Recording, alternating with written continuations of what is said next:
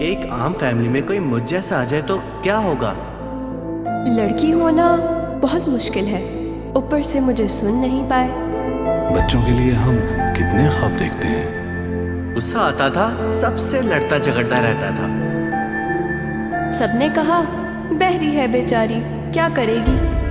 मैं सोचता था कैसी ज़िंदगी होगी उसकी। फिर मेरा एडमिशन डेफ स्कूल में हो गया और सब कुछ बदल गया।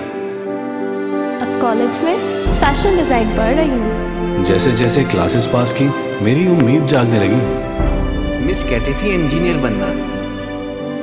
मैं सब कुछ कर सकती हूँ। खानदान का पहला लड़का है जो कॉलेज जाएगा।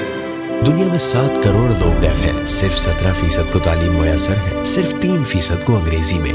पाकिस्तान में एक आशार्य पाँच मिलियन बच्चे बहरे हैं। और सिर्फ़ दो परसेंट से भी कम स्कूल जाते हैं। लाखों वालदेन अपने बच्चों से बात नहीं कर सकते, लेकिन हम उनमें से नहीं। इस रमज़ान डेफ रीड स्कूल को जक़ात दे और इन बोलते हाथों की आवाज़ बने।